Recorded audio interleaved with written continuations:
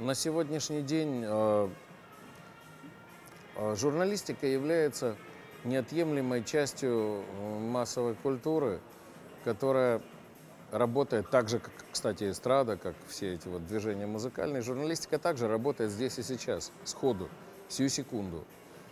Кризис есть, безусловно, потому что официальная журналистика, которая, ну, каким-то образом навязывается, да, с позиции центральных СМИ, она ангажирована, безусловно, она выполняет задачу того или иного клана, который э, выставляет это на переднюю линию.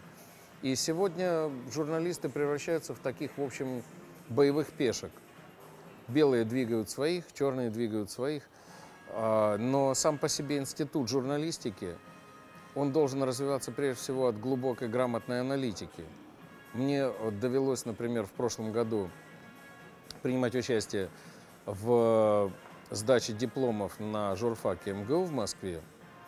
И я был поражен примитивностью, поверхностностью знаний выпускников, которые защищали дипломы. То есть это просто вот рефераты на уровне пионерлагеря. А если бы сегодня, например, не столько даже проблема в том, что от журналистов требуют выражать ту или иную волю там, той или иной политической партии, это ради бога. Ну, это современные реалии, таков мир сегодня. Но проблема в том, что мы ни от кого не слышим аналитики, глубокой, грамотной, основанной на фактах, на каких-то исторических параллелях, на сравнениях.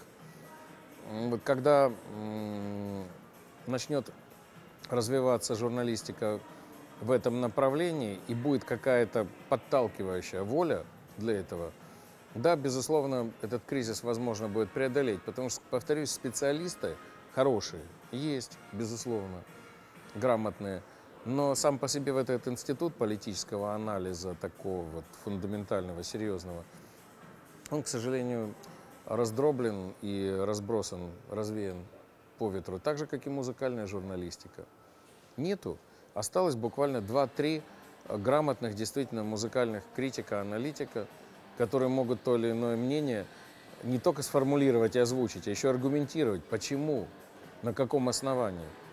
Все остальное это просто сегодня там артист Тютькин упал с балкона, новая сенсация. Завтра там артист Иванов э, заявил о том, что он беременный, ждет миллиард и так далее. Ну вот, собственно, и на этом заканчивается журналистика, к сожалению.